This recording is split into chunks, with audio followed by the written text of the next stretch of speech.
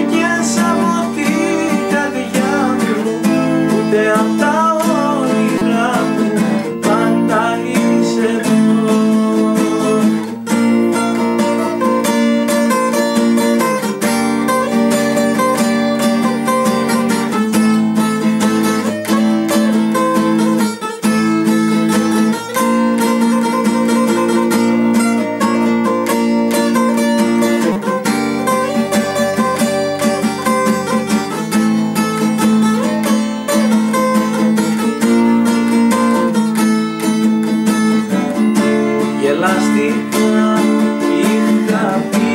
ότι θα σε ξεχάσω και λάστηκα